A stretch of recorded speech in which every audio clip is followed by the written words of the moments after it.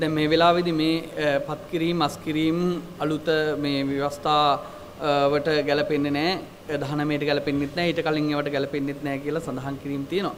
හැබැයි රටක ව්‍යවස්ථාව තියෙන්නේ රට වෙනුවෙන්නේ. රටක ව්‍යවස්ථාව තියෙන්නේ රට වෙනුවෙන් ජනතාව වෙනුවෙන් මිසක් ව්‍යවස්ථාව වෙනුවෙන් නෙමෙයි. ඒ නිසා ව්‍යවස්ථාවක් උපදින්නේ කොහෙන්ද? ඒ ව්‍යවස්ථාවක් උපදින්නේ රටේ ජනතාවගේ බලාපොරොත්තු එවැගේම සංස්කෘතිය ඒ මූලයන් මතින් තමයි ව්‍යවස්ථාවක් උපදින්නේ. එතකොට යම්කිසි හේකින් රටේ ජනතාව විපතටපත් වෙනවා නම් රටේ සංස්කෘතික මූලයන් විනාශයටපත් වෙනවා නම් රටේ ඒකීය භාවයේ විනාශයටපත් වෙනවා නම් ව්‍යවස්ථාව තුලම ඒ විනාශය වෙනවා නම් වහාම ජනතාවට බාර දෙන්න ඕනේ ඒ ව්‍යවස්ථාව නිවැරදි කරගන්න. ඒ නිසා මේක ඇත්ත වශයෙන්ම හුදෙක් ඡන්දයක් විතරක් නෙමෙයි. අනාගතේ දැන් අපි දන්නවා 19 වෙනි වතාවටත් මේක සම්මත වුණා මේ ව්‍යවස්ථාව සංශෝධනය වුණානේ.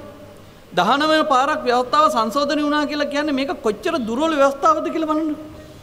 එතකොට 19 වැරදි 19ක් අපිට හදාගන්න සිද්ධ වුණා. 19ක් නෙමෙයි ඊටත් වැඩිනේ. හැබැයි මේ වැරදි හදනවයි කියලා කරෙත් මොකද තවත් වැරදි කරන්නේ. දැන් 19 වෙනි ව්‍යවස්ථාව ගැන ගත්තොත් එහෙම ව්‍යවස්ථා සංශෝධනය ගත්තොත් එහෙම 19 වෙනි ඔබ කවුරුත් දන්නවා ඒකෙන් මහින්ද රාජපක්ෂ මහත්තයාට ඡන්ද ඉල්ලන්න බැරි කරන්න තුන්වෙනි පාරට ඉල්ලන්න බෑ කියලා දෙකකට වඩා වතාවක් ඉල්ලන්න බෑ කියලා කපලා අයින් කරා. ඊළඟට නාමල් රාජපක්ෂ අයින් කරන්න ඕන නිසා මොකද කළේ 35ට වයස දැම්මා. ගෝඨාභය රාජපක්ෂට එන්න බැරි කරන්න මොකද කළේ? ද්විත්ව ප්‍රවේශි භාවයේ තියෙන අයට බෑ කියලා කිව්වා. බලන් යනකොට මේ පවුලක් ඉලක්ක කරගෙන තමයි ව්‍යවස්ථා සංශෝධනයක් කළේ. මම හිතන්නේ ඉතිහාසයේ ලෝකේ කොහෙවත් රටක ව්‍යවස්ථාවක් සංශෝධනය කරලා නැතුව ඇති සංශෝධනය කරලා නැතුව ඇති පවුලක් ඉලක්ක කරගෙන. ඒ නිසා මේ විදිහේ තත්ත්වයක් තමයි මේකේ තියෙන්නේ. ඒ නිසා මේ ව්‍යවස්ථානුකූල බව ඉතා පැහැදිලිව නීතිඥයෝ ප්‍රකාශ කරනවා. කොහොමදත් බලය හිමි වෙච්ච අය බලය දාලා යන්න අකමැත්තක් තියෙනවා. ඒ නිසා වුන් මේ ව්‍යවස්ථාවේ එල්ලිලා ඉන්න බලනවා. හැබැයි උනාට ව්‍යවස්ථාව උපදින්නේ ජනමූලය තුලින් නම් ජනමූලයට බාර දීලා තියෙනවා ප්‍රශ්නේ විසඳන්න. ඊට වඩා ප්‍රජාතාන්ත්‍රීයව කරන්න වෙනම දෙයක් නැහැ. ලෝකේ යම්කිසි උපරිම ප්‍රජාතන්ත්‍රවාදී ක්‍රියාවලියක් ඇද්ද? ඒ ප්‍රජාතන්ත්‍රවාදී ක්‍රියාවලිය තමයි මේ රටේ එහෙම නැත්නම් ඒ දේශේ ජනතාවට බාර දෙනවා ගැටලුව විසඳ ගන්න.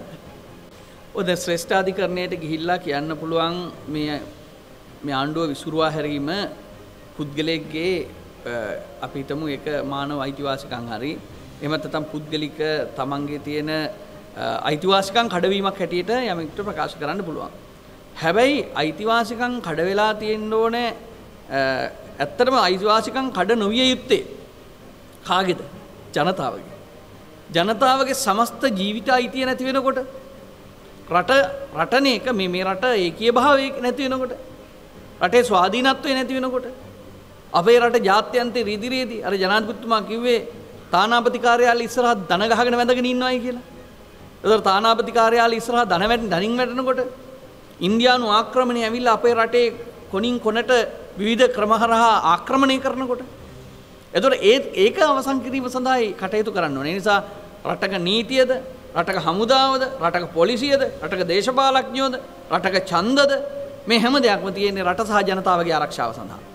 ඒ නිසා මම හිතනවා නීතිය ජනතාවගේ පැත්තේ හිටියොත් මේක කිසි ගැටලුවක් නැහැ. ඒ නිසා නීතිය ජනතාව සඳහා මිසක් නීතිය හොරුන් ආරක්ෂා කිරීම සඳහා නෙවෙයි.